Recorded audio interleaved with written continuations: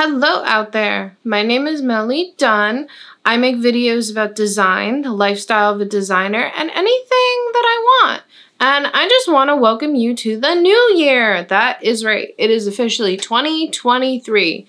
2022 has left, and we are now going on to a whole new year with new possibilities. And because of that, I started to brainstorm some ideas for myself for 2023.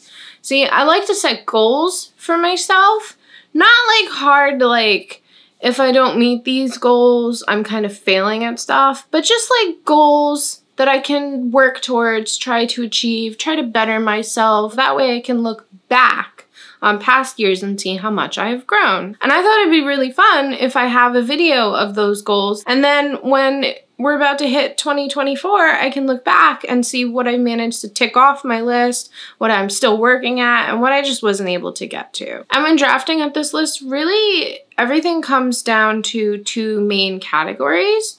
The first one being like my professional growth, where I want to take my career, the things I want to achieve for myself to better myself in my career, stuff like that. And then goals for my personal life and the person who I want to be in the upcoming year and years beyond. So, starting with my career, I feel like a lot of what I want to achieve this year has to do in the realm of UX design, UI design, and product design. And that's obviously because I'm trying to transition my career from my print design career track into tech and UX, UI product design. So the first thing I want to accomplish right out of the new year is I want to finish the portfolio project redesign I've been doing. I took the Google course. I did all three projects, but evaluating the work that came out of that course, I found that I can improve my projects. And I specifically gravitated towards my last project I did. So I have been redesigning the UI and like the overall functionality of the app and the mobile screens and making it a stronger project and I'm hoping that I finish that and then I can make my case study from that. And piggybacking off of that project, I'm hoping that either the end of January, the beginning of February, we get back to doing the podcast website redesign project. That's a real client project I'm doing for my fiance and his friend. I did the wireframing and all that, and we have it planned but we need to get together and plan out like the actual visual aspect and like what kind of photos they want on it and stuff like that. I'm hoping that maybe it won't be more than six months. I hope it'll be a lot less than that. I'm just gonna give that to kind of make me feel better if it takes longer. This year, I really hope to learn a lot more about Figma. There's a lot of tutorials that I've been saving to watch later, and I really love Figma. I think it's a very powerful tool, and there's a lot more you can do with it than Adobe XD. I'm just really hoping to learn more about Figma since it's such a powerful tool. I hope to learn more about the tech field and to find like webinars and events and stuff and just to experience it more. I've always been very fascinated by tech, and I have definitely seen that since when I was younger, we didn't really have much technology to now where there's a lot. Like, I have a watch that's a smartwatch, you know? like, I've just seen like how life has improved the more technology has become sophisticated. And I find that very fascinating. So I really love to learn more about that. I really want to use this year as like a reflection period on my career and start thinking about where I want my career to go more intensely and more refined. And I mean that in like, I know that I want to go into the tech field. I know that I really want to do UX design, UI design, product design. But I think that it would do me good to take some time to reflect and do research on like tech and then the different like subgenres of tech and really hone in where my interests are and where my talents could really shine. I actually have been taking the time to go to UX design talks that UX designers in the industry are doing. And I went to several different ones now, and they were hosted by several different UX designers. And I've gone from, well, I just want to be a UX designer to, wow, there's different kinds of UX designers. There is one UX designer. I actually went to two of her talks because it was aimed more for people who were coming out of boot camps and trying to get into junior roles or already are in junior roles. But she's a UX designer that works in the train industry, which was completely different from I went to a talk a UX designer went did that they work for Figma. So that really opened my eyes that I think I really need to take some time, like I said, to really refine down and think about this. And I think that would be really good because then I can cultivate a direction that I'm going to have an actionable plan in applying for jobs. So that way, instead of wasting my time of just like apply, apply, apply, apply, apply, I can refine my search and really hone in on specific companies that match what I want. And then that would make me a stronger candidate. I'm currently a manager in my role and I have been for a couple years. I think transitioning to UX design, I'm not going to be a manager at first, but I really want to build up to be a UX design manager. I think I really shine in management. I really love helping people. I love figuring out problems. I love guiding a team. But I really think I need to learn better to be a better manager. I want to find some courses on management and just like learn to be a better manager so that way I can help my current team, and then when I offboard to hopefully a UX design job, somewhere down my career path, I can be a really good UX design manager to a team. This year, I really want to network more, and I really would love to build a peer circle of people trying to transition to UX design or people who are already in UX design that can give pointers. I always avoided networking actually because I never thought it was worth anything and I never really learned how to do it.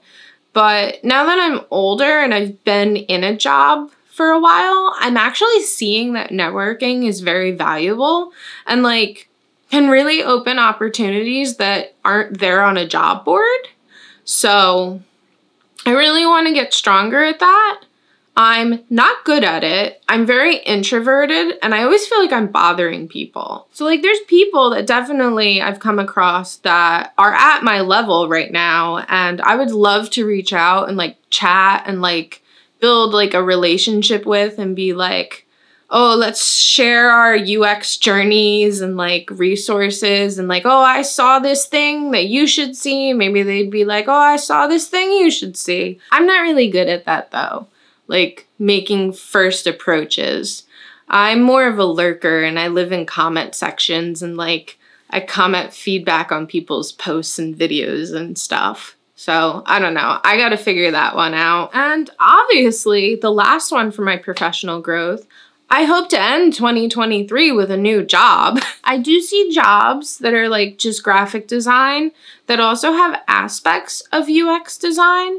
So even if I got into one of those, I think that would be really good. And that experience would add to my resume and it would add to my skills. And then I could apply for like a more core UX design, product design job with that experience. And if all you cared about were my goals for my UX design transition, that's it. And I wish you the best of day. But now on to my personal goals list. My first personal goal on this list kind of was thrusted on me and my fiance unwillingly a couple weeks ago, and that's because our basement flooded really bad. Our sump pump broke, which is really infuriating because like when we pulled that out of the hole, it was disgusting, rusted, really old. It probably should have been replaced many years before this house was even put on the market. I was extremely upset about it and had a lot of emotions, but I've calmed down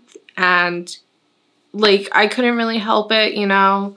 It happened. It's what it is. Now we just deal with it and move on. We're just now going through cleanup and evaluating the stuff that's down there. So I really hope the beginning of the year to get that finished. So it's not a dead weight on the rest of the year. Just like with the rest of the world, probably. I hope to get more sleep. I'm a night owl. I don't do really well in the morning. I have a really hard time waking up. But when I get going with coffee, I'm good through the day. And then, especially now, like having a kid, I can't really do stuff during the day because I'm working and taking care of my kid. So I do a lot of the stuff that is like my interests and like stuff around the house at night. But that pushes me, you know, into the evening of doing stuff. So I don't usually get to bed till one o'clock. And then I'm getting up like between seven and nine o'clock and then working. So that's not really healthy. So I'm hoping to find a balance and like correcting that and like getting more sleep. I to eat less meat and less takeout fast food. Um, the meat thing, I've actually like been cutting down a lot. I was always like okay with chicken, but like I didn't really prefer it. I always preferred vegetables. And then actually when I got pregnant, I had an aversion to meat. So I couldn't even eat meat.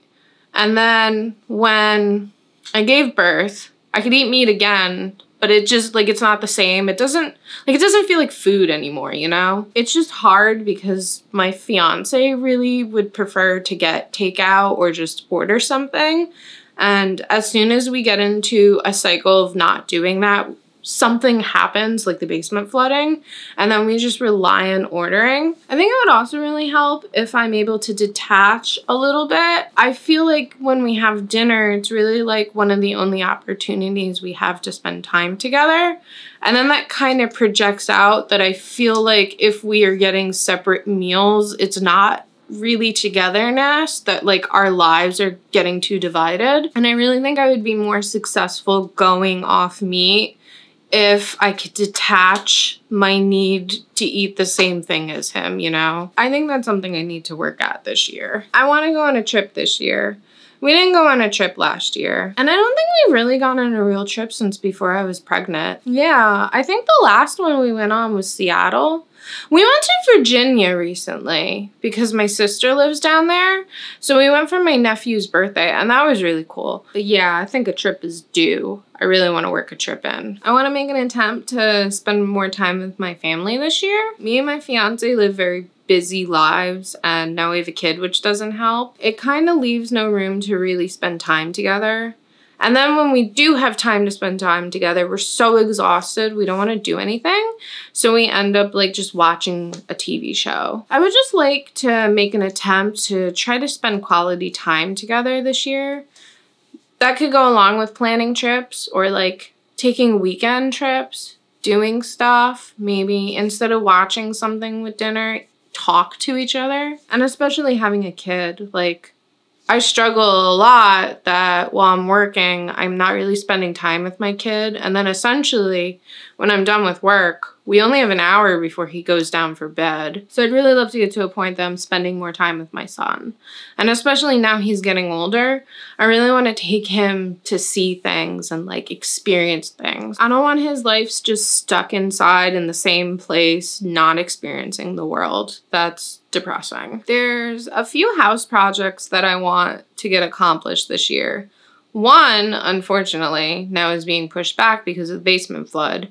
In our kitchen, which is back here, we have over the sink like this section of wall that was protruding out and we cut it open. We're building an in-wall shelf to store things, to get stuff off the counters. There's some cabinets that we want to rip down and hopefully take that stuff and store it up there and like open the kitchen up more. But the wood my fiance bought that was going to go in the wall to build that shelf was in the flood and it's all ruined. So we got to get more wood now. And I'm also hoping to get a dedicated area for me to record videos and to do photography setup.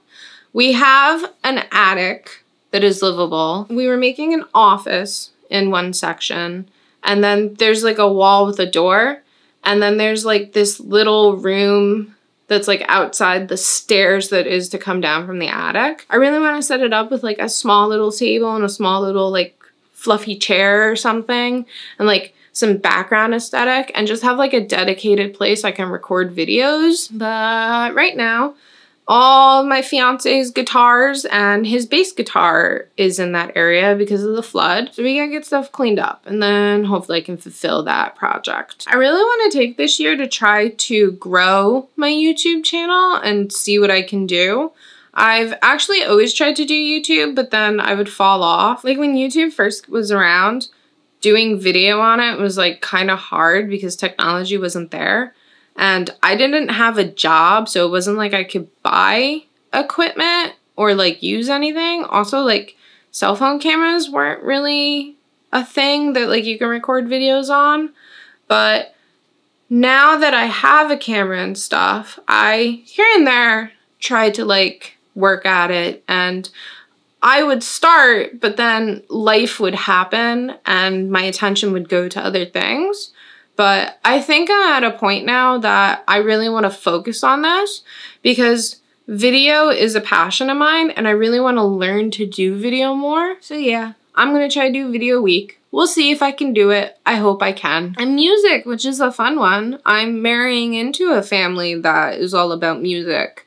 My fiance has a million instruments in our house and he sings all the time.